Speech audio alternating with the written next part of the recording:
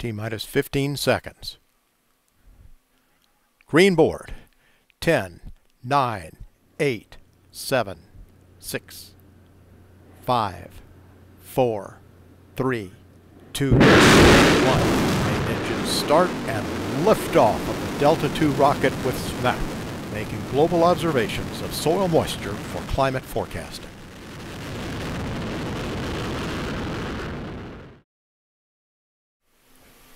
SMAP spacecraft team on the ground, standing by here at Vandenberg for spacecraft Standing by. separation.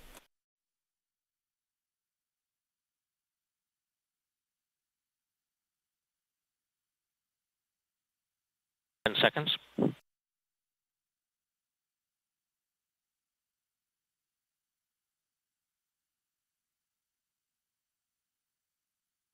And we have the break wires.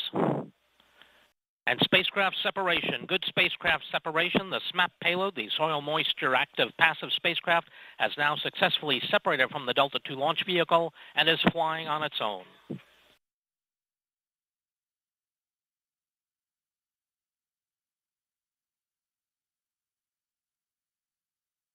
The first of three of the P-POD spacecraft deploys is now scheduled about 48 minutes from now. 57 minutes, 25 seconds into the flight. And we do have telemetry lockup on the spacecraft through TDRS.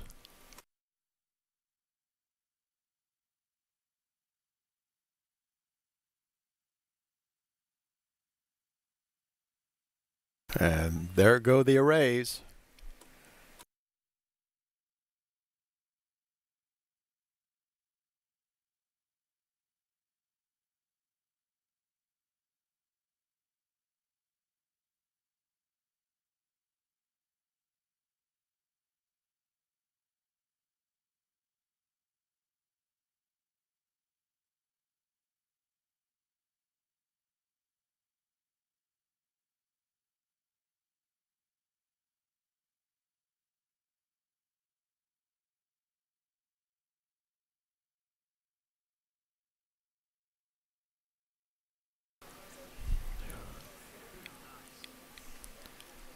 And the spacecraft is reportedly power positive, 18 amps on the solar arrays.